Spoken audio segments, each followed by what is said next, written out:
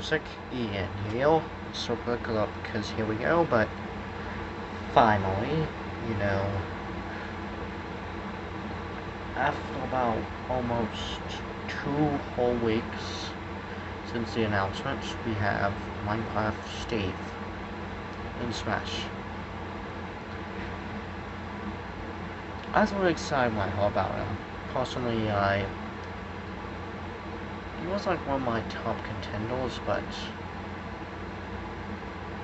um, I also thought he probably want to be in. You know, it just seemed too weird and stuff. But he's in, and yeah. And I'm not sad about it. In fact, I'm really happy he got in. Sure, it might have eliminated some of my options for characters who I really want. But I guess it doesn't matter now. Um, yeah. So, go check out Steve. That's pretty much it. I didn't have a plan, I just wanted to make this because, you know, Steve is out.